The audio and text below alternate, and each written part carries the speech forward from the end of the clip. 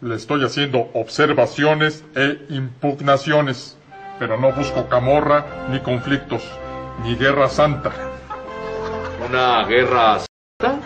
¿A Santa Claus? No, una guerra santa a secas, porque con una guerra a Santa Claus perdería popularidad entre las chiquillas y los chiquillos.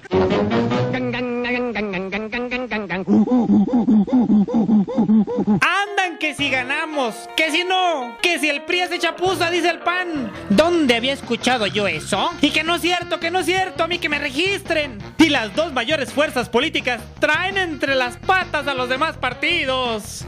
Por lo pronto los priistas hicieron su marcha del triunfo y se hizo presente la dirigente nacional del PRI, Beatriz Paredes. Estamos de acuerdo ahí. Porque va a empezar a llover bajando con todo gusto. Con todo. Permítanme pasar a votar, por favor. Claro, claro, claro.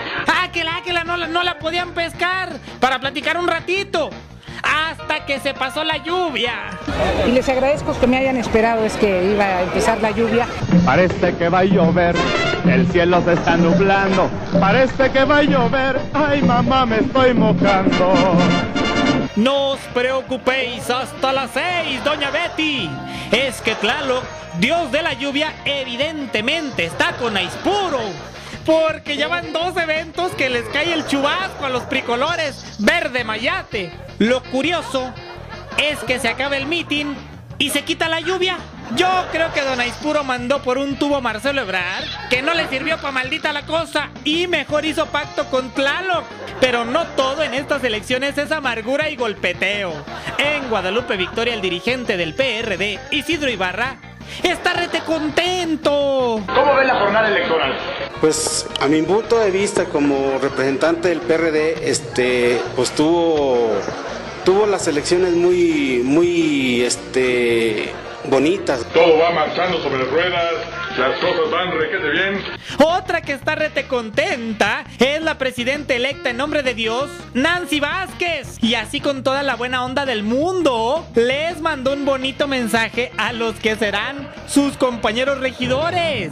que si verdaderamente quieren a, a nombre de Dios y si de verdad iban por un ideal, pues que se metan a chambear. En vez de que anden haciendo circos, yo los invito a que se vengan a trabajar con nosotros. Piñas, piñas, pásele por sus piñas, melones, plátanos. Y volviendo al tema de Rosas Aispuro, el que no está muy contento con el dios de la lluvia Tlaloc es el secre del ayuntamiento, Jaime Fernández Aracho. Según él, anduvo muy empeñoso destapando alcantarillas. Yo no le creo ni palabra. Sin embargo, bueno, ahí estuvimos prácticamente trabajando con los directores hasta las 3 de la mañana, abriendo alcantarillas. Te lo juro por Diosito. Y si no me crees, aquí está la otra. ¿Será posible que se haya ensuciado las manos, mi secre? Lo único seguro es que un político es capaz de todo, con tal de no terminar con el hueso en el pescuezo.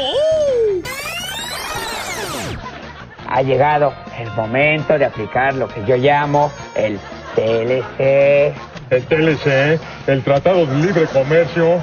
No, el toda su lana para Carlitos.